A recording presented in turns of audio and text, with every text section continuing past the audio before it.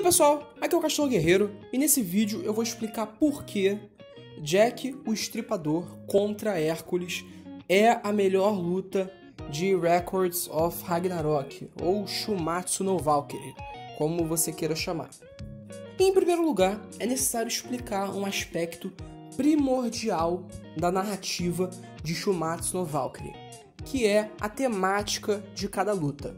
Porque se você pegar cada uma delas, existe um tema, existe um clima entre os dois personagens e o conflito entre eles.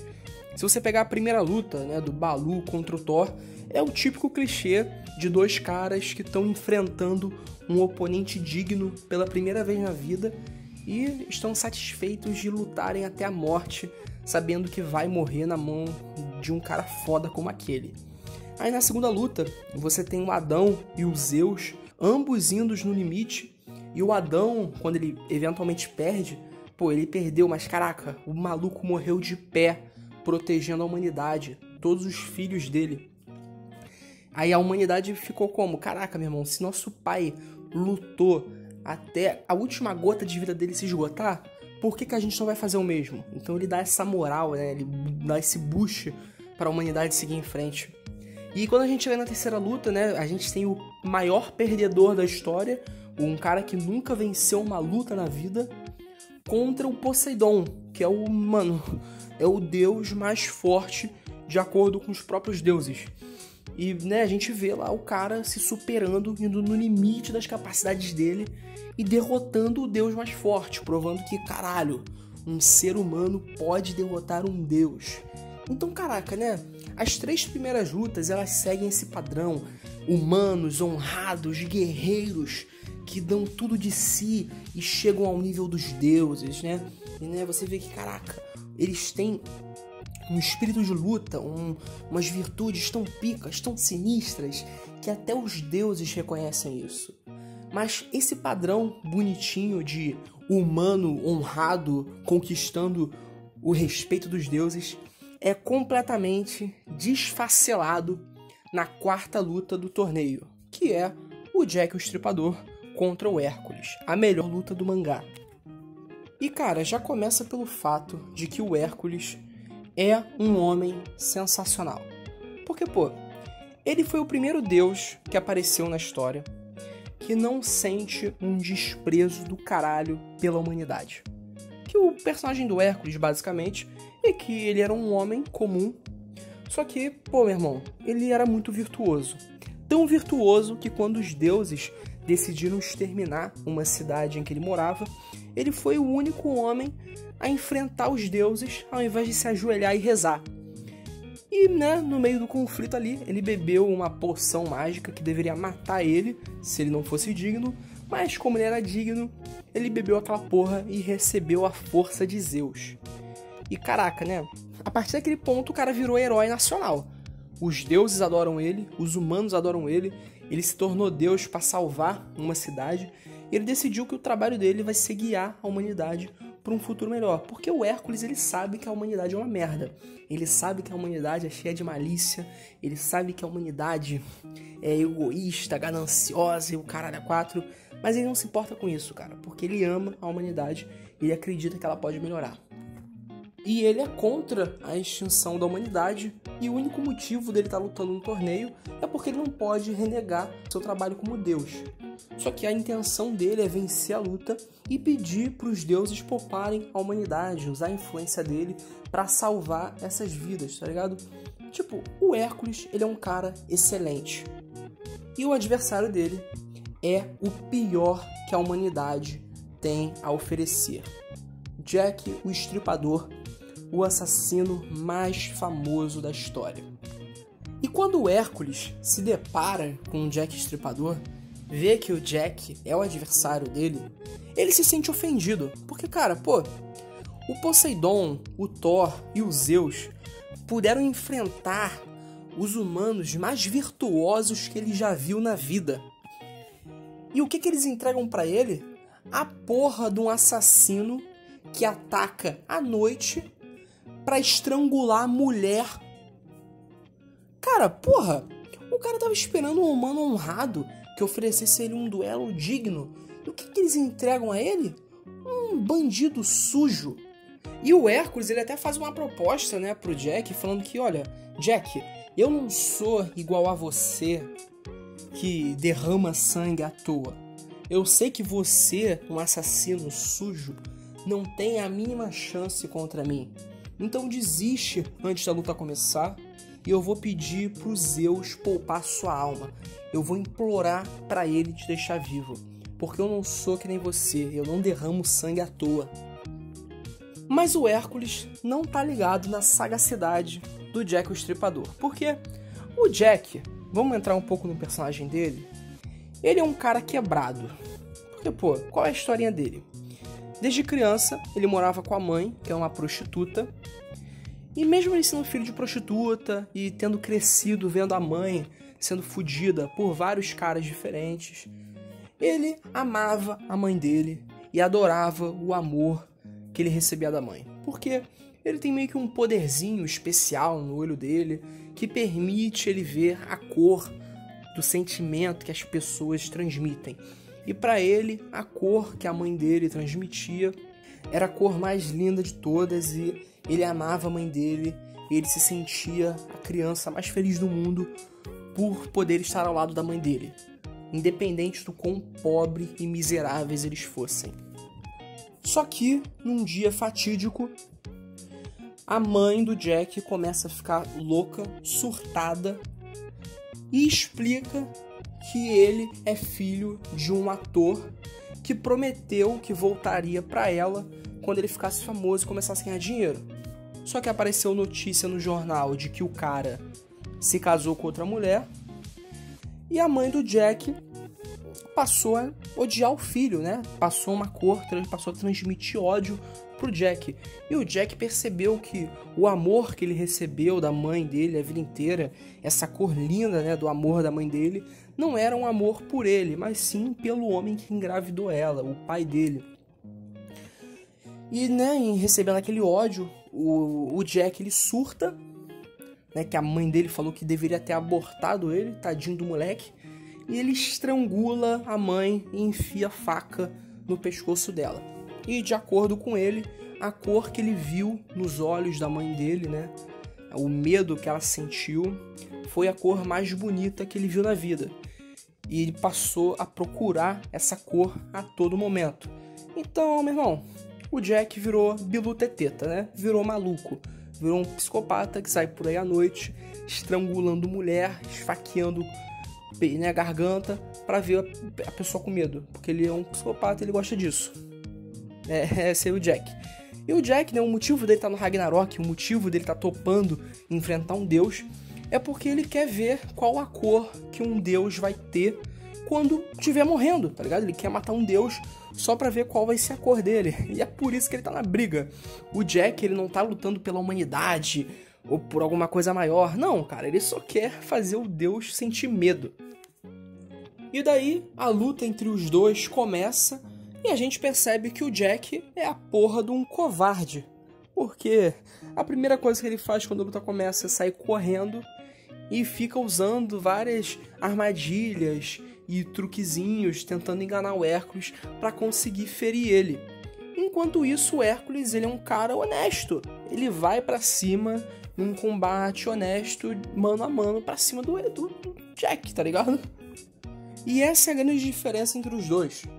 O Hércules é o melhor que os deuses têm a oferecer, enquanto Jack é o pior da humanidade. E você vê isso refletido na própria plateia, porque eles ficam confusos, né? Que a plateia dos humanos deveria torcer pro Jack, porque é ele que vai trazer a sobrevivência da humanidade caso ele vença. Só que, cara, o, Hércules ele é um cara tão honesto, tão direto, né? O Deus da Fortitude, que nunca recua, que sempre segue em frente. Que, caraca, ninguém quer ver ele morrer. Ninguém quer ver o Hércules se dar mal enquanto Jack é a porra de um assassino que matava mulher em defesa. Mas a parte mais legal da luta é que, tipo, por mais que existisse conflitos da plateia sobre torcer pro Jack ou não, a parte maneira mesmo era o relacionamento do Hércules com Jack durante a luta. Porque conforme a luta ia passando, o Hércules lentamente começou a respeitar a forma que o Jack luta. Porque por mais que o Jack ficasse sempre fugindo, tentando usar truquezinho para derrubar o Hércules e mentindo sobre as armas que ele tinha no seu arsenal, o Hércules via no Jack a humanidade encarnada. Porque o Hércules, novamente, ele sabe que a humanidade é ruim, mas ele acredita que a humanidade pode melhorar. E da mesma forma que ele acredita que a humanidade pode melhorar, ele acredita que que o Jack pode ser uma pessoa melhor. Então, durante a luta, o Hércules passa a querer salvar o Jack, porque ele compreende que no passado o Jack foi traído, né, que ele sofreu por causa das condições dele e que isso levou ele para o caminho do hedonismo, em que ele matava as pessoas por prazer. E ele sabe que o Jack pode ser melhor do que isso, tá ligado? Enquanto isso, o Jack, ele não tá nem querendo saber, cara. O Jack, ele só tá querendo fazer o Hércules é, sofrer, quer fazer o Hércules sentir medo, né? Porque essa é uma parte importante do Hércules. Ele tem uma força de vontade infinita. Ele é um cara que nunca recua, que ele nunca sente medo. Então, porra, ele é basicamente o rival perfeito pro Jack, porque ele é a única pessoa que o Jack realmente quer ver sentir medo, ele quer ver como o Hércules vai ser quando a cor dele mudar, quando o medo possui o corpo dele. Esse é o objetivo do Jack, ele quer fazer o Hércules sentir medo, cara. Só que o Hércules não vai, porque o Hércules é a porra de um herói. E não importa o quanto o Jack tente enganar o Hércules, né? Porra, teve uma hora que o, o Jack ele consegue arrancar o braço do Hércules através de uma mentira. E, porra, ele basicamente fala que, olha, Hércules, tudo nessa cidade pode te matar porque meu poder permite que eu transforme qualquer coisa que eu toque numa arma divina que pode matar um deus. E porra, mesmo caraca, o Hércules estando encurralado, estando fudido, porque por mais que o Jack seja a porra de um assassino que ficava se matando mulher, por algum motivo ele é bom de briga. Ele consegue se esquivar dos ataques, ele consegue arremessar facas muito bem. Então, porra, cara, o Hércules ele tá no mano a mano honesto. Só que o oponente dele, cara, ele é um, um, um cheio de truquezinho na manga. E o cara tá cada vez mais só se fudendo. A cada ataque ele tá ficando mais fraco. E tudo isso leva ao final da luta, em que você tem o Hércules basicamente próximo ao final das suas forças, ainda sem medo, disposto a seguir em frente. E você tem o Jack, que tá ferido, né? Que acabou se ferindo por causa do Hércules. Mas que o, o, o Jack ainda tá determinado a matar o Hércules, né? A fazer ele sentir medo. E o Hércules, seguindo em frente, ele quer salvar o Jack, ele quer mostrar pro Jack que esse caminho de hedonismo, de ferir as pessoas, de ficar vendo o pior nas pessoas, não é o caminho certo. E na reta final da luta, o Jack, ele usa o próprio sangue para perfurar o peito do Hércules. E o Hércules ele fica pensando: "Caraca, Jack, você usou o próprio sangue para poder me vencer. Aquela ferida que você tomou foi de propósito para chegar nesse ponto da luta. Olha o que você está fazendo para salvar a humanidade. E o Jack ele tá pensando: não, não, eu não tô querendo salvar a humanidade. Eu quero fazer você sofrer, eu quero fazer você sentir medo. Mas porra, cara, o Hércules ele tá ainda com a moral 100%, cara. E o mais maneiro é que nesse momento em que o Jack tá basicamente com o braço dentro do peito do Hércules, o Hércules ele podia dar um socão no, no Jack e matar ele. Só que ao invés disso, o Hércules decide abraçar o Jack antes da sua morte. Porque, de novo, cara, o Hércules sabe que a humanidade é uma merda, assim como o Jack é um merda. Mas ele acredita que a humanidade pode melhorar. E quando ele abraça o Jack, o que, que ele está fazendo é o que? Está permitindo que a humanidade siga em frente para poder vencer o torneio. E nesse abraço, está mostrando que ele acredita na humanidade, acredita que a humanidade pode ser melhor, que ele acredita que o Jack pode ser melhor. E por mais que o Jack tenha matado Hércules e né, garantido a vitória para os humanos, no final das contas o, o Jack perdeu, porque o objetivo do Jack na luta nunca foi vencer, foi fazer o Hércules sentir medo. E até o último segundo da sua vida, a cor do Hércules não mudou. o Hércules continuou valente como um leão até seu último suspiro. Aí, pô, é muito maneiro que você vê o Jack saindo da arena e a plateia não tem o mesmo contexto que o Jack e o Hércules tinham um sobre o outro, né? E a plateia fica jogando vários insultos contra o Jack, falando que, ah, você matou o melhor deus de todos, o melhor homem que já nasceu nessa terra. E o Jack, ele só fica tipo assim: caraca, velho, eu sou um merda, sou um assassino sujo, mas aquele cara, ele acreditou em mim.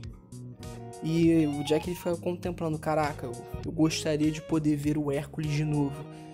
E você vê que, pô, o Jack mudou, tá ligado? O Jack, no finalzinho da luta, ele meio que faz um cumprimento lá pra Valkyria, que foi a arma dele durante a luta. E a gente não vê muito dele depois dessa cena, mas caraca, ele saiu de lá mudado pelo Hércules. De certa forma, o Hércules venceu, ele transmitiu a mensagem dele de que a humanidade, através da fortitude, pode ser melhor. E, cara, é muito maneiro você ver basicamente isso, né? A, a bondade absoluta contra o mal absoluto. E por mais que o mal possa ter matado a bondade, a virtude da bondade fez o mal se conscientizar um pouco. É, é, muito fofinho nos momentos finais, quando o Jack tá saindo da arena. Você vê, tipo, alguns personagens que meio que conheceram ele durante a sua vida, vendo que, pô, tudo bem que ele foi um monstro em vida, mas olha só como ele tá agora. Olha só como ele lutou pela humanidade. Porque o Jack, ele se ferrou pra caralho na luta, cara. Ele, por mais que ele tenha usado vários truques para enganar o Hércules e adquirir vantagem, pô, o cara, em vários momentos, ele foi raçudo, né? E é por isso que eu adoro essa luta, cara. Sem contar que a, a, tudo, tudo, nela é maneiro, cara. Os truques do Jack para enganar o, o Hércules, é, ele revelando a verdadeira arma dele, né? Que é a luva que transforma qualquer coisa numa arma divina os golpes especiais do Hércules, que segue aquele clichê, né? De que, ah, se eu usar esse golpe, eu vou ficar mais fraco. Só que o cara é tão porra louca que ele ficou usando esses golpes e ele não dá sinal nenhum de que tá sentindo dor. Porque ele é, tem uma, uma virtude, né? Uma fortitude, uma força de vontade alta pra caralho. É, todo o cenário da luta, né? A cidade de Londres, eles usando o cenário nas lutas. É bem mais interessante que as outras, que é tipo só uma arena ampla, vazia. E, cara, eu adoro essa porra. Eu espero que quando eles lancem a segunda temporada, eles entreguem uma animação decente. E é isso aí. Já, já falei demais sobre lutinha de mangá japonês. É, dá um like aí, se inscreve no canal, tá ligado com o meu esquema. Até a próxima. Fui.